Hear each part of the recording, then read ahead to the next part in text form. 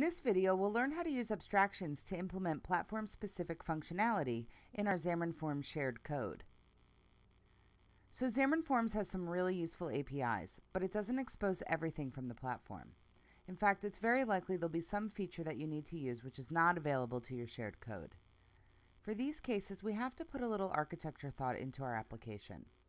We want to use the APIs available in the platform-specific project, but somehow invoke them from our shared code. As an example, consider dialing the phone. All three platforms have support for this feature, but each one accomplishes it differently, and to fully control it, we would want to write that code uniquely per platform. Let's explore what Xamarin Forms has to offer here. Platform features not exposed by Xamarin Forms can be used, but will require some architectural design.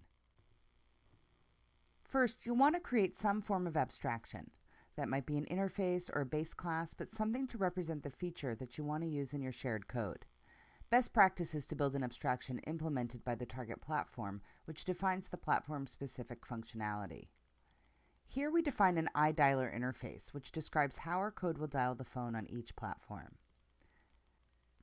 Then, in each of the platform-specific projects, we'll implement that interface using the platform-specific APIs available to us in those projects. Our shared code will always use the interface, which means it's not tied directly to the implementation or platform specific code. Platform projects implement the shared dialer interface using the platform specific APIs. To locate the implementation, we can use a variety of techniques. Often, it's either a variation of the service locator design pattern or the dependency injection design pattern. It really doesn't matter how you bind to the implementation, the key thing is the separation being used here. When creating your own abstractions, you can of course roll your own locator object or provide a singleton property that your platform-specific code assigns. Alternatively, Xamarin Forms has two built-in mechanisms. The first is a generalized messaging service called Messaging Center that acts as a publish-subscribe event system.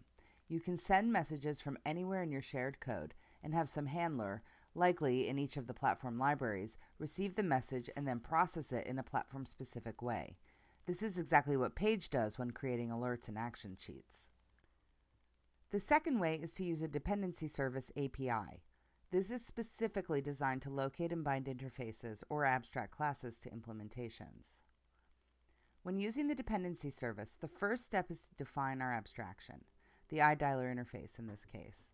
Again, this must be in our shared code since all parties need to know about this class or interface. Next, we'll implement the abstraction in each of our platform-specific projects. Here we define it for iOS, but we would also want to do an implementation in the Android and UWP projects. Notice that it does not need to be public. External users won't know about the class directly, they will only reference it by the abstraction. Next, in each of the platform-specific projects, we let the dependency service know about our implementation using the dependency attribute. This is declared at the assembly level as you can see here and identifies the implementation which is then registered with the dependency service. In Xamarin Forms 1.3, you can also use the new register method to add specific instances or types to the dependency service in code versus declaratively with an attribute. This allows you to make runtime decisions about the implementation of the service or to instantiate a service implementation with a parameterized constructor. Finally, anywhere in your app, you can request the abstraction from the dependency service. It will return the first registered class that implements the specific interface or derives from the specified base class. If no class is found, null is returned. This means that you can implement a service for one platform, but leave it off for another if it's not possible to implement or it's optional.